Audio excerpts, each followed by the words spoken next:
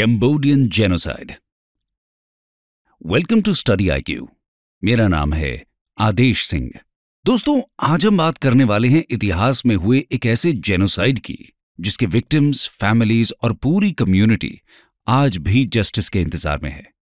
ये जेनोसाइड हुआ था कैम्बोडिया में खमेर रूश की सरकार के दौरान। खमेर रूश के लीडर का नाम था पोल पॉट जिसने 1975 से 1979 तक कैम्बोडिया पर रूल किया था। ये चार साल कैम्बोडिया के इतिहास के काले अध्याय कहे जा सकते हैं। इस दौरान दुनिया ने ऐसा नरसंहार देखा, जिसे देखकर इंसानियत शर्मसार हो गई। दोस्तों, कैम्बोडियन जेनोसाइड के बारे में बात करने से पहले यह ध्यान रखना ज़रूरी है कि इस समय वर्ल्ड स्टेज पर कोल्ड वॉर अपनी पीक पर चल रहा था। और 1949 में चाइना में कम्युनिस्ट रेवोल्यूशन के बाद माओ जेडोंग पावर में आ चुके थे। माओ की communist ideology East Asian nations में तेज़ी से स्प्रेड हो रही थी। ऐसी ही socio political situation Cambodian genocide को जन्म देती है। आइए सबसे पहले जानते हैं कि खमेर रूज पावर में कैसे आती है।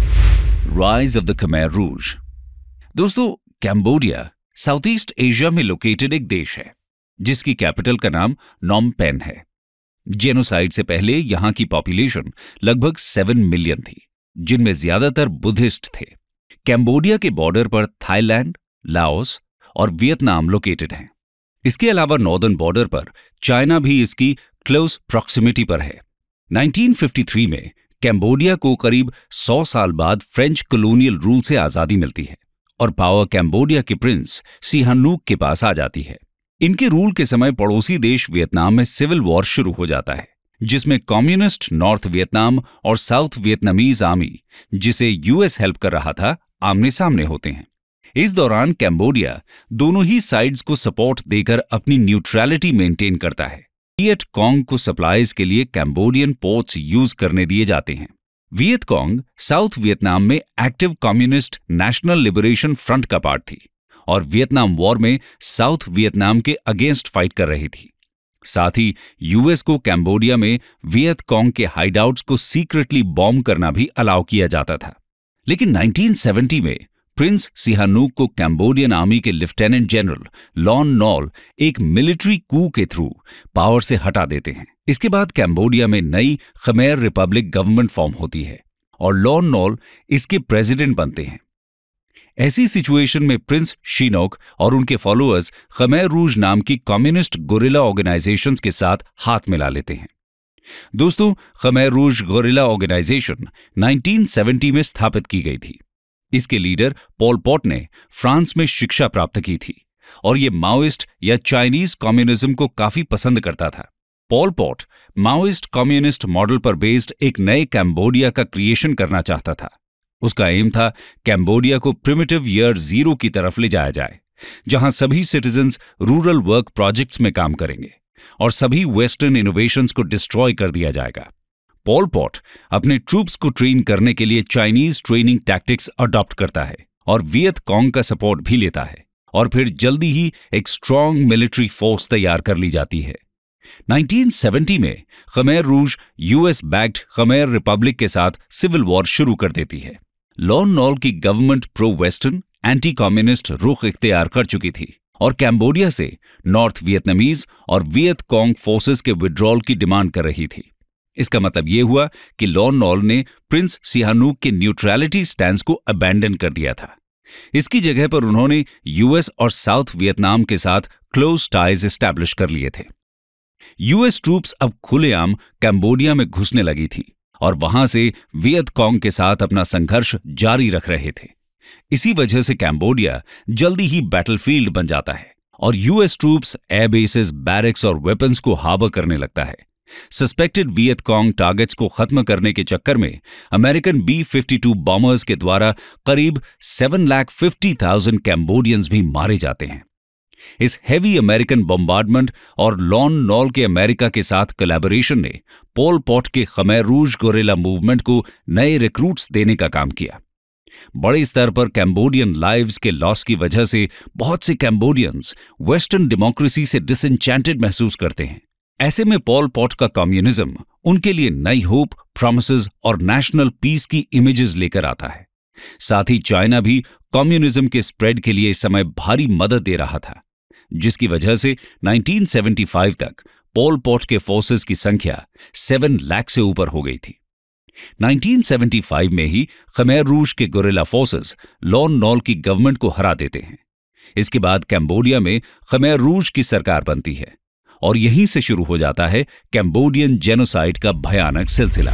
Turning Cambodia into a communist model and the resulting genocide दोस्तों, खमेर रूश के पावर में आते ही कैम्बोडिया को माओस चाइना के कम्युनिस्ट मॉडल में रिकंस्ट्रक्ट करने का मिशन भी शुरू हो जाता है। खमेर रूश का मानना था कि आइडियल कम्युनिस्ट मॉडल अचीव करने के लिए सभी कैम्बोडियंस को कलेक्टिव फार्म्स में लेबरर्स की तरह काम करना होगा और जो भी इस सिस्टम को अपोज करेगा, उसे रास्ते से हटाना होगा। यही एक्सट्रीमिस्ट पॉलिसीज़ कैम्बोडियन जेनोसाइड को जन्म देती हैं। कैम्बोडिया के लोगों को फोर्सफुली उनके घर से बाहर करना शुरू कर दिया जाता है। बीमार डिसेबल्ड ओल्ड और यंग लोग, जो कलेक्टिवाइज्ड फार्म्स और लेबर कैंप्स तक की जर्नी नहीं कर सकते थे, उन्हें मौके पर ही मार दिया जाता था। साथ ही ऐसे लोगों की भी हत्या कर दी जाती है, जो जाने से मना करते हैं। इसके अलावा, नई गवर्नमेंट को अपोज करने वाले सभी लोगों की भी यही सजा होती है। इनकी टारगेट लिस्ट में इंटेलेक्चुअल्स और वेस्टर्न एजुकेटेड कैम्बोडियंस भी थे। शहर से ज़बरदस्ती लोगों को गाँव भेज दिया जाता है। सिटीजन्स के सभी सिविल और पॉलिटिकल राइट्स को खत्म कर दिया जाता है। बच्चों को पेरेंट्स से अलग करके फोर्स्ड लेबर कैंप्स में डाल दिया जाता है। फैक्ट्रीज, स्कूल्स, यूनिवर्सिटीज, हॉस्पिटल्स और सभी प्राइवेट इंस्टीट्यूशंस बंद कर दिए जाते हैं। और इनके ओनर्स, पुराने एम्प्लॉयज़ और उनकी एक्सटेंडेड फैमिलीज़ तक का मर्डर कर दिया जाता है। रिलीजन बैन कर दिया जाता है। बुद्धिस्ट मंक्स और क्रिश्चियन मिशनरीज की निर्दयता से हत्या कर दी जाती है। टेम्पल्स और चर्चेस को जला दिया जाता है। खमेर रूज के अंदर कुछ रेसिस्ट सेंटिमेंट्स भी मौजूद थे, लेकिन ज़्यादातर हत्याएँ मिलिटेंट कम्युनिस्ट ट्रांसफॉर्मेशन के एक्सट्रीमिस्ट प्रोपेगेंडा से ही इंस्पायर्ड थी। फॉरेन लैंग्वेज बोलने पर, चश्मा पहनने पर, हंसने पर या रोने पर लोगों को गोली मार देना आम बात हो गई थी। पॉल पॉट की आइडियोलॉजी को एक खमैर स्लोगन के ज़रिए समझा जा सकता है। इसमें कहा गया है कि to spare you is no profit to destroy you is no loss यानी कि तुम्हें छोड़ देने में कोई फ़ायदा नहीं है और तुम्हें खत्म करने में कोई नुकसान नहीं। मतलब ये हुआ, किसी न किसी तरह लोगों की हत्या ही करनी है और कैम्बोडियन एस्टैब्लिशमेंट में जान की कोई कीमत नहीं थी, स्पेशली अगर वो कम्युनिज्म को न मानते हों। जो कैम्बोडियंस बच जाते हैं, उन्हें एंडलेस आवर्स के लिए मिनिमम राशन पर अनपेड लेबर की तरह काम करना पड़ता है। उन्हें मिलिट्री बैरिक्स की तरह पब्लिक कम्यून में रहने के लिए फोर्स किया जाता है, जहाँ हमेशा ही खाने की कमी बनी रहती थी और अलग अलग तरह की बीमारी फैलती रहती थी। मतलब जीना तो मरने से भी ज़्यादा कठिन हो जाता है। गुलामों की तरह काम करने, भूखे रहने इंजरी और इलनेस के कारण बहुत से कैम्बोडियंस फ़िज़िकल वर्क करने में असमर्थ हो जाते थे और सिस्टम पर फालतू खर्चा समझकर खमेर रूज इनकी भी हत्या कर देता था। जेनोसाइड की ये भयानक कंडीशंस तीन साल तक ऐसे ही चलती रहती हैं। 1978 में वियतनाम कैम्बोडिया का इन्वेजन करता है और 1979 में फाइनली खमेर रूज की सरकार का एंड होता है। पॉल पॉट के शासनकाल में 30 लाख से भी ज़्यादा लोगों की हत्या हुई थी। यानी कैम्बोडिया की करीब 25 परसेंट पॉपुलेशन इस दौरान खत्म हो जाती है। लेकिन कैम्बोडियंस की परेशानी अभी भी खत्म नहीं होती। खमैर रूज के फॉल के बाद भी ये लोग सफ़र करते रहते हैं। Aftermath of Khmer Rouge fall दोस्तों 1978 में जब वियतनामीज कैम्बोडिया पर अटैक करते हैं तो उन्हें लिबरेटर की तरह देखा जाता है। क्योंकि वो कैम्बोडियन पीपल को पॉल पॉट की जेनोसाइडल रेजीम से मुक्ति दिलाते हैं। लेकिन जब 1979 में वियतनाम कैम्बोडिया पर अपना कंट्रोल स्टैब्लिश करता है, तब कैम्बोडिया पूरी तरह से बर्बादी की हालत में था। पॉल पॉट के समय में इकोनॉमी फेल हो चुकी थी और सभी प्रोफेशनल्स इंजीनियर्स टेक्नीशियंस और प्लानर्स जो कैम्बोडिया को रीऑर्गेनाइज कर सकते थे, उन्हें तो जेनोसाइड के दौरान मार दिया गया था। कम्युनिस्ट वियतनाम के कंट्रोल में होने के कारण वेस्टर्न डेमोक्रेटिक स्टेट्स भी कैम्बोडिया के लोगों की मदद के लिए तैयार नहीं थे। इसके उल्टा यूएस और यूके एग्जाइल में गए खमैर रूस के फोर्सेस को फाइनेंशियल और मिलिट्री सपोर्ट दे रहे थे, क्योंकि इस समय खमैर रूज ने वियतनाम और कम्युनिज्म का विरोध करने की शपथ ले ली थी। इस वजह से जिन वियतनामीज को लिबरेटर समझा जा रहा था, वो जल्दी ही अनवेलकम ऑक्यूपायर्स बन गए थे। इसका एक कारण यह भी था कि ये दस साल के लंबे समय के लिए कैम्बोडिया पर अपना कंट्रोल रखते हैं। एक तरफ़ ये हॉस्टाइल वियतनामीज ऑक्यूपेशन और दूसरी तरफ़ खमैर रूज की गोरिल्ला फोर्सेस का कंटिन्यूड थ्रेट कैम्बोडिया को अंडर डिवेलप्ड कंडीशंस में बनाए रखता है। बहुत से कैम्बोडियंस देश छोड़कर थाईलैंड माइग्रेट करने लगते हैं। इस जर्नी के दौरान कुछ भूख से मरते हैं। तो कुछ खमैर रूज के सोल्जर्स द्वारा वेस्टर्न बॉर्डर पर बिछाई गई लैंड का शिकार हो जाते हैं। जो थाईलैंड पहुँच जाते हैं, वो कैंप्स में अपने साथ मलेरिया, टाइफॉइड, कॉलरा जैसी जानलेवा बीमारी भी ले जाते हैं। ह्यूमन राइट्स ग्रुप्स के अनुसार खमैर रूज के फॉल के अगले ही साल छह लाख पचास हज़ार लोगों की मृत्यु होती है। इसके अलावा 1978 से 1989 तक चले मिलिट्री कॉन्फ्लिक्ट्स में और 14,000 कैम्बोडियन सिविलियंस को अपनी ज़िंदगी से हाथ धोना पड़ता है। 1989 में वियतनाम कैम्बोडिया से विद्रॉ करता है और 1991 में एक पीस अग्रीमेंट साइन किया जाता है। बुद्धिज्म को फिर से ऑफिशियल रिलीजन घोषित किया जाता है और 1993 में कैम्बोडिया में पहले डेमोक्रेटिक इलेक्शंस होते हैं। लेकिन जिन्होंने कैम्बोडिया की यह हालत कर दी उनका क्या? आइए जानते हैं। Justice for the genocide victims not so easy दोस्तों कैम्बोडियन जेनोसाइड के विक्टिम्स को जस्टिस देने के लिए यूएन मेंबर्स ने 1994 में खमेर रूज ट्राइब्यूनल की डिमांड की थी, जिसके बाद the extraordinary chambers in the courts of Cambodia ECCC को स्टैब्लिश किया गया था और नवंबर 2007 में फाइनली ट्रायल शुरू किए गए थे, जो आज तक चल रहे हैं। बहुत से सस्पेक्टेड परपिट्रेटर्स तो वियतनाम के साथ मिलिट्री स्ट्रगल में मारे गए थे। कुछ लोगों को खमैर रूज के लिए खतरा मानकर खुद ही एलिमिनेट कर दिया गया था।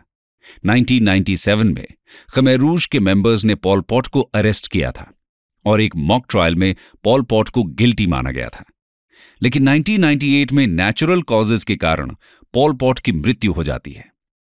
यानी कि अपने गुनाह की सजा काटने के लिए यह ज़िंदा नहीं बचता है। खमेर रूज को 1999 में ऑफिशियली डिसबैंड कर दिया जाता है। ईसीसीसी e ट्राइब्यूनल की अक्सर आलोचना होती है, क्योंकि 11 साल ऑपरेशनल रहने के बाद भी ये सिर्फ़ तीन ही कन्विक्शंस दे पाई थी, और इस पर 300 मिलियन डॉलर खर्च हो चुके हैं। क्राइम की गंभीरता को देखते हुए हम कह सकते हैं कि जेनोसाइड के विक्टिम्स के साथ जस्टिस आज तक नहीं हो पाई है। कंक्लूजन दोस्तों कैम्बोडियन जेनोसाइड ह्यूमैनिटी को शर्मसार कर देने वाली घटना है। इतने बड़े स्तर पर लोगों को मार दिया जाता है और इंटरनेशनल कम्युनिटी कुछ भी नहीं कर पाती। खुद को ह्यूमन राइट्स का रखवाला कहने वाला यूएस उस समय खुद वियतनाम में ह्यूमन राइट्स के वायलेशंस में बिज़ी था। कैम्बोडियन लोगों के साथ कोई भी हमदर्दी नहीं दिखाई जाती। पोलपोर्ट रेजीम के ये चार साल सिर्फ़ कैम्बोडियन हिस्ट्री के ही नहीं बल्कि पूरी ह्यूमन हिस्ट्री के काले अध्याय में गिने जा सकते हैं। हम बस यही उम्मीद करते हैं कि कैम्बोडियन विक्टिम्स को जल्द ही जस्टिस मिले और फ्यूचर में कभी कोई रेजीम फिर ऐसा करने की सोच न सके।